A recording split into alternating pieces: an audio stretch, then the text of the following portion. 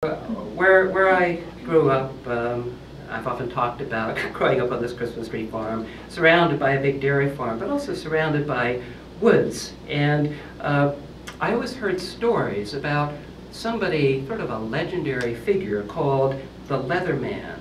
And the Leatherman, back during the Revolutionary War period, uh, was a kind of hermit. And he would roam around in the woods, probably shooting deer. And uh, curing, tanning the leather, and he eked out some sort of paltry existence selling his, his leather. So I mentioned that in the poem. the bottle dump. We leaned under gold oak leaves that cold November, saying nothing as wind numbed hands and the sky whitened. I watched you rake bed springs and cans, slip the pitchfork into the dump's accretions, plate shards, clamshells, char.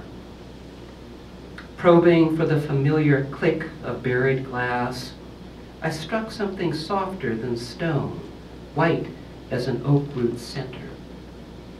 Was it the skull of the leather man haunting these woods since the revolution? You pulled roots from a jaw stained by mulch. At home, we scrubbed and buffed them all, the round-lipped ones, the green pontil-marked ones, the ones labeled Dr. Applebaum's Florida waters.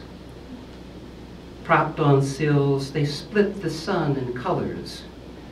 At night, guarded our sleep against the moon's intrusions, their trapped spirits trembling to break from glass.